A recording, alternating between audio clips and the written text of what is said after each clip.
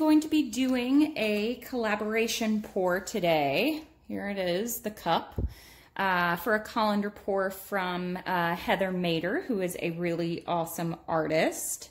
You should check her channel out and I will link it below. Um, but she contacted me for a collaboration and the colander pour is what we decided on. So I decided on the colors. I'll list my pouring medium and everything else down below in the description as I always do. Um, the colander is has a little lip to it. It's round circles. Um, and that's pretty much about it. So I've leveled off my canvas. I'm using a 12 by 12 inch canvas today. Tried to go with a square. Um, and I'm gonna go ahead and get started.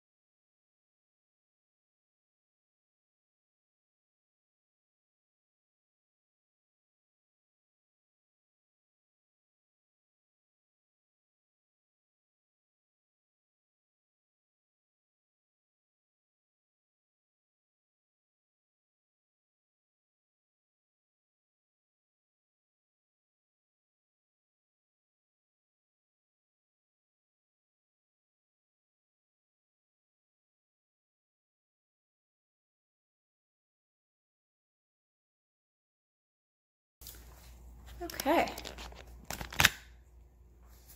So I always have that top light on, so hopefully it won't get in the way. So there you can see,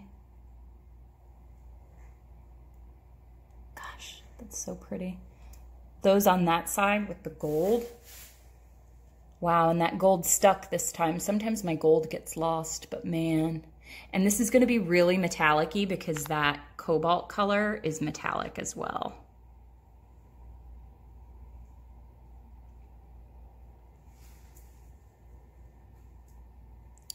I just love it. I like the ones that are that deep dark blue up top. You guys can let me know what you think. I love those. But they're all different as you go around. It's just crazy. So that's what she looks like.